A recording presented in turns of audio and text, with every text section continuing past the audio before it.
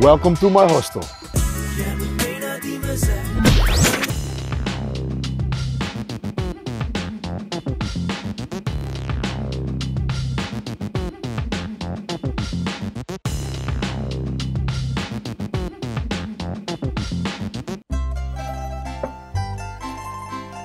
Naar het restaurant voor ontbijt, lunch of diner. Een van mijn favoriete kamers is deze, namelijk omdat het een 8 persoons is. Wanneer mijn harem dan vervelend doet, dan stuur ik ze met z'n achter naar beneden en dan vertoeven hun hier terwijl ik lekker in mijn penthouse suite zit. En dit is de badkamer. Eh, dit gebeurt hier eigenlijk nooit. Heb je nou behoefte aan wat meer privacy? Kom met me mee.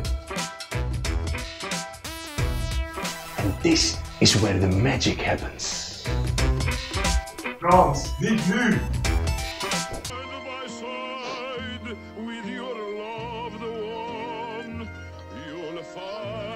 Hey, zo niet erop man, dit is niet goed voor mijn imago. Dit, eh, dit knippen we eruit, toch? Ik heb jullie mijn hele krip laten zien. Het is mooi geweest. Nu wegwezen.